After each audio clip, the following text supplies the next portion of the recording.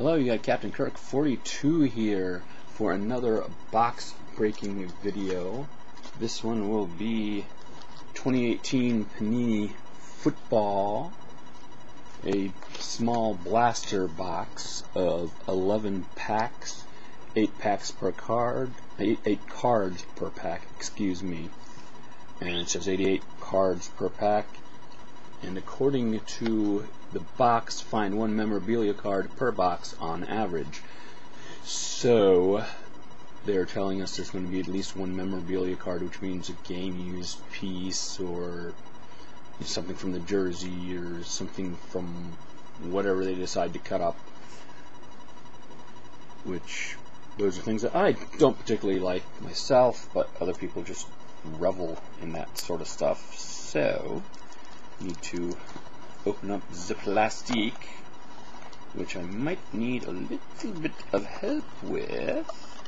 I'll try to do it without the help of dangerous, sharp objects, but you never know.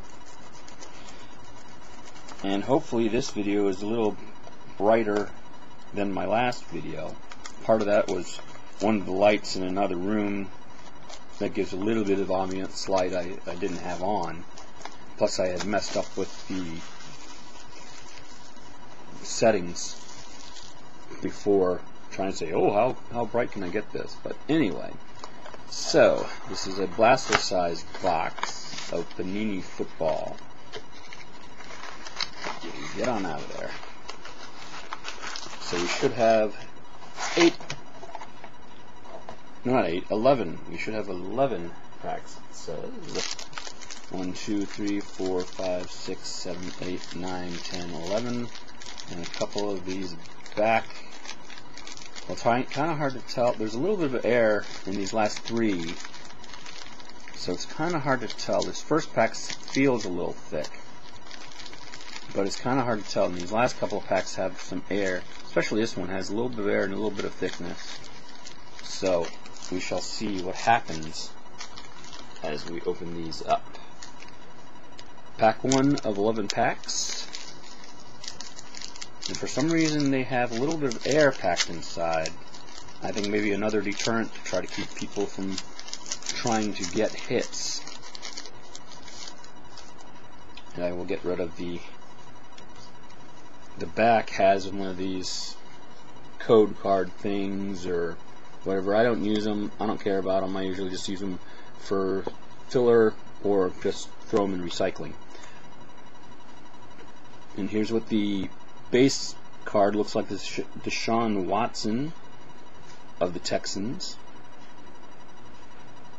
And we have Adam Thielen of the Vikings. Followed by, I have to rewrite Vernon Davis and some of these other cards. Vernon Davis of my Redskins. Jacoby Brissett of the Colts. Show you what the backs of these cards look like.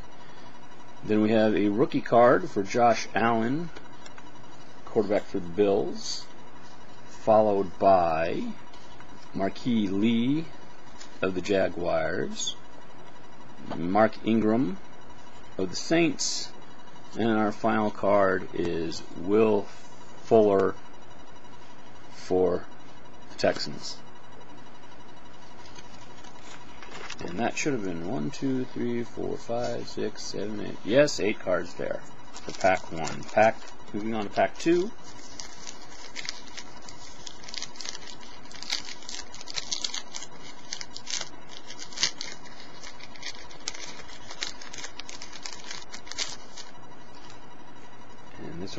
Get rid of a fill card. We've got Maurkice Pouncey of the Steelers, Jimmy Graham for the Packers.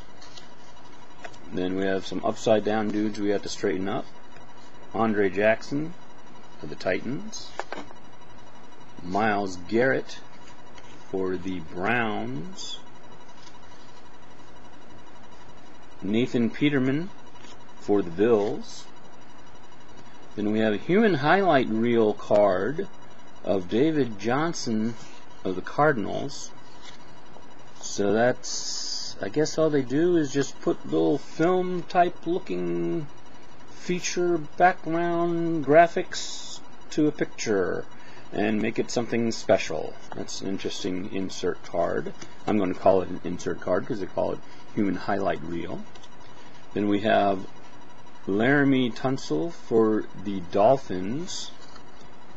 And our last card is AJ Green for the Bengals. Pack number three. And as I said, this is another pack that has a little bit of air in it.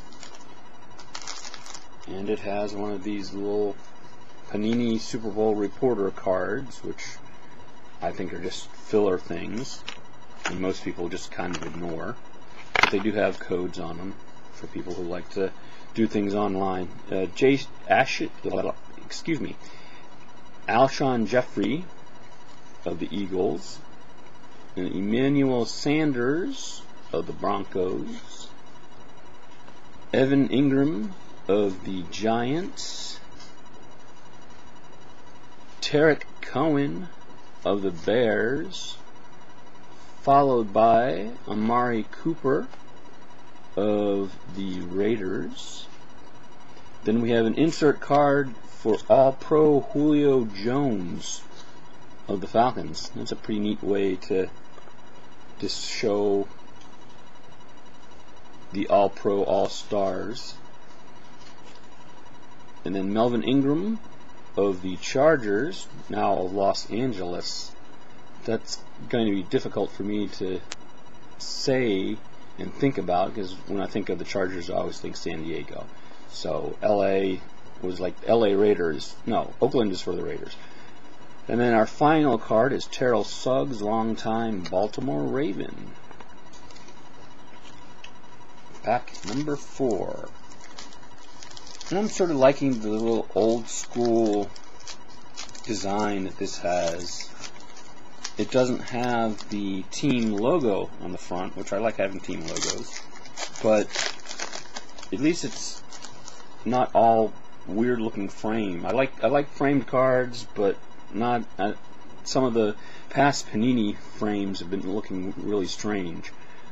But anyway, continuing on, Ezekiel Elliott of the Cowboys, followed by Patrick Chung of the Patriots, and Deion Jones of the Falcons, followed by Robbie Anderson of the Jets, Harrison Smith of the Vikings, then we have Aaron Donald of the Rams, longtime Arizona Cardinal Larry Fitzgerald, and our last card is Marquise Goodwin of the 49ers. Pack number five.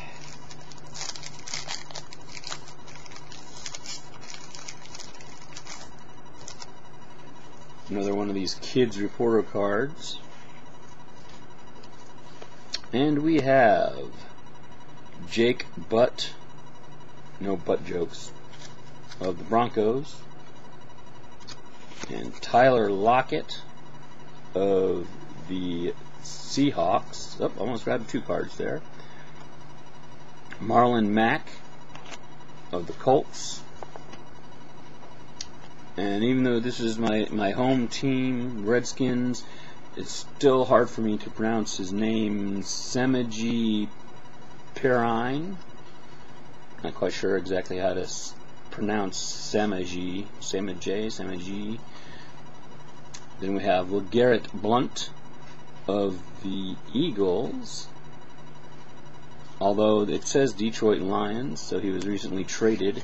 The front Oh yes, the front does say he signed with the Lions on March 16th.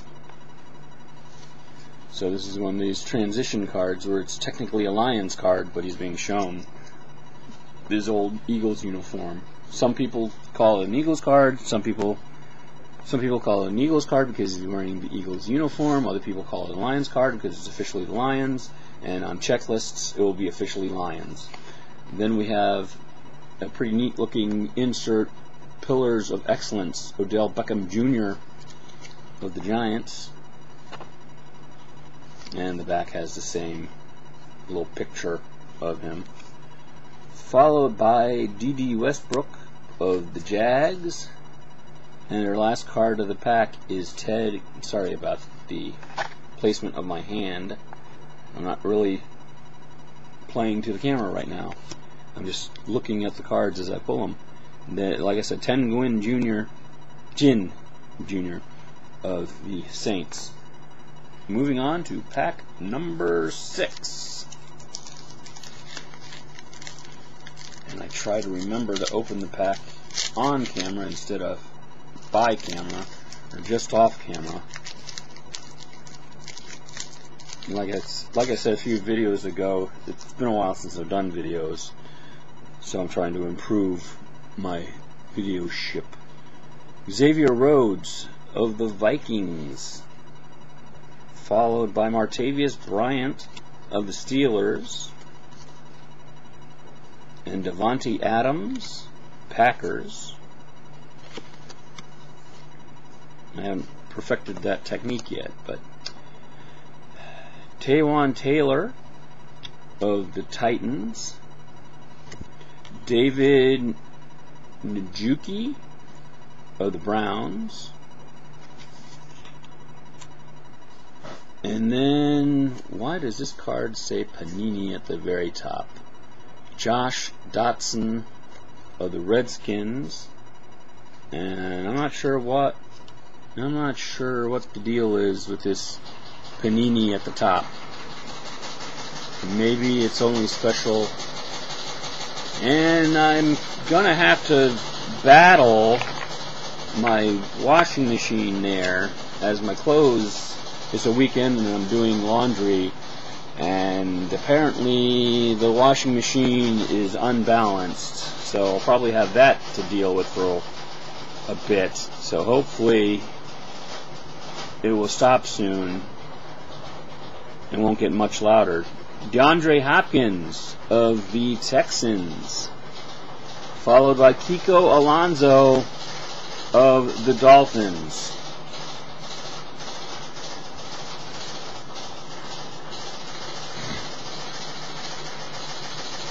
Oh boy, and my, my video system is set up, or I should say the video software is set up so that if I stop recording, it and then when I start recording again, it's going to make it a new video, so I can't do that. So I'm going to have to battle with the laundry machine. Arg! Bad timing on my part. Like I said, this was 7. Pack number 7. We have one of these kids reporter things with the video code, which I didn't have one there long enough for people to pick up, so who cares. Going right along, Ronald Darby, or Ron I'm sure he probably goes by Ron Darby of the Eagles. And this is an Eagles card, not a Lions card. Then we have Bradley Roby of the Broncos. Followed by Zay Jones of the Bills. Zay. Interesting name, Zay. Then Kyle Long of the Bears. Troy Fumagalli of the Broncos in his Wisconsin, I guess University of Wisconsin uniform. So this is a rookie, of course, a rookie card. It says there up on the front corner. The Wisconsin Badgers is what he's pictured in. So, but of course, since this is a professional card, he's going to be going into the Broncos because that's what he's listed as. But people who are alum of that particular school might be chasing him. Who knows? Carlos Dunlap of the Bengals. And then Hunter Henry of the Chargers. And we finish off this particular pack with Brandon Williams of the Ravens. And pack number eight.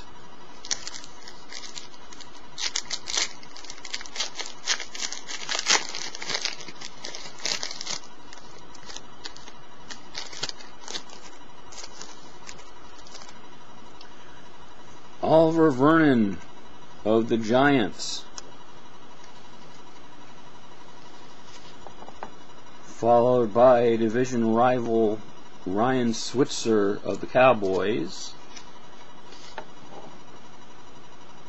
Then we have Bruce Irvin, Raiders. Vic Beasley Jr. of the Falcons. Jamal Adams of the Jets. Chandler Jones of the Cardinals. DeSean Jackson, previously of Redskins, previously of Eagles, but now with the Buccaneers. And the last card is pack number eight, Haason Reddick of the Reddick. Know, Haason Reddick of the Cardinals. That was pack number nine? No, number eight. This is pack number nine. Feels thick. One of the first, one of the last three to be pack number nine. Feels thick. And like I said, had a little bit of air. And the other two packs after it felt kind of thick but with air. Of course, we have this card, reporter card and let us start things off with Dont'a Hightower of the Patriots, followed by Torrey Smith of the Eagles. Oh no, wait a minute, he's of the Panthers. Wearing an Eagles wearing an Eagles jersey, but he's of the Carolina Panthers because he had signed signed by Panthers on March 14th, 1918. 2018, excuse me. Chris Carson of the Seahawks. Followed by Sammy Watkins of the Chiefs. And we've got Josh Doctson of the Redskins. And let me double check. This is a regular version, and I think earlier I had said I'd found the for some reason there was a panini. Hold on. For some reason, and I'm trying to find this card in my stack that I just recently opened up. Yeah, this this was the card I picked earlier on the top. It says Panini, and this is the card I just picked, just opened up and pulled and it doesn't have the panini there up the top so this is the regular base and this is some sort of panini special which I'm not sure how they determine what's what or what they call it in the checklists. But that's that and we do have some more cards. We've got a light speed Ezekiel Elliott of the Cowboys a team that I am not fond of. And this one is just a regular insert, no numbered insert, but it is pretty neat. It's got this foil flashy stuff on the side, I guess to indicate that he's being speedy at light speed. Then we have Matt Breida of the 49ers, and the last card of the pack is TJ Yeldon of the Jaguars. Now we move on to pack number 10. And this just feels like a regular pack, doesn't feel like anything special. I don't see any insert kids thing card. We got Kirk Cousins of the Vikings. I wish he was still on the Redskins, but this year if he had been on the Redskins he would have a broken leg because of the dead shin, the red red shins this year. Le'Veon Bell of the Steelers, followed by Matt Prater, the kicker for the Lions. Eric Decker of the Titans. Jordan Lasley of the Ravens. Kind of difficult to see what his jersey uniform was.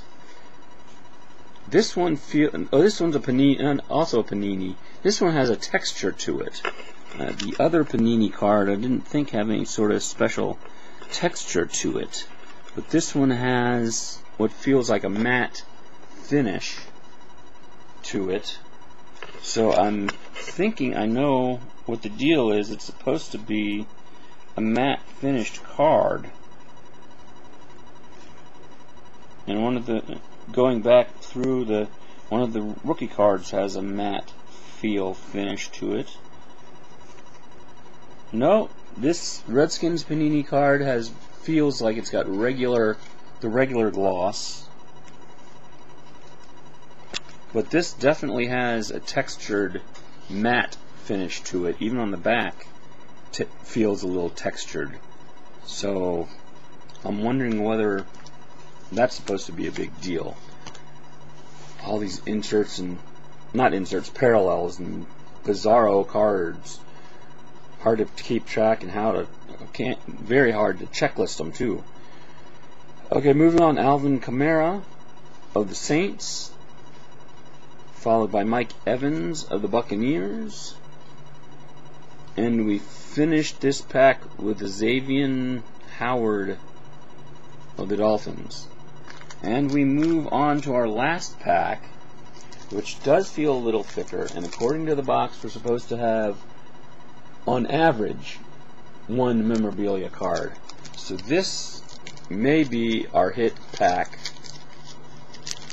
if we get any at all. It's not guaranteed, and they say on average. So, do we hit the average or not? We have one of these kid reporter things so probably not. But looking at the side here, it does look like we've got uneven something or other, so we probably do have something. So I am going to, that feels like it. So, Andy Dalton of the Bron uh, Broncos. I'm seeing the B and thinking something different. The Bengals Joey Bosa of the Chargers, and Ha Ha Clinton Dix, who's now on the Redskins, but he's here as a Packer. What a name, Ha Ha. How did you get named Ha Ha? And apparently that's his real name. His parents, bizarre jokers, I guess. Zach Ertz, of the Eagles, Corey Coleman of the Browns, Jordan Poyer, the Bills, T.Y. Hilton of the Colts, and we are down to what our hit is, and it is a Knights of the Round, Michael Gallup for the Cowboys. Oh boy, what a team to have. Knights of the Round, special card, a relic material, memorabilia card was what they call it. Like I said, Michael Gallup of the Cowboys, and it is a solid all blue, their dark blue patch from a uniform supposedly game used. Nowadays, who knows what it is. Sometimes just of what they call event used, which means they put on the uniform, pose for pictures, and that's it. And this on the back, it says the enclosed player worn material is guaranteed. Player warned. Player, you know, player, player warned. So it's not. They don't call them game used anymore like they did 20 years ago when they first introduced them. It's player worn. Which, yeah, okay, the player wore it, but sometimes it's because the player wore it for some sort of special event. So there you have it. There's the memorabilia card that is an on average one per pack. And since my laundry is acting up again, I'm going to and I finished up the pack, the box, the the blaster box. That's it for this video. See you later.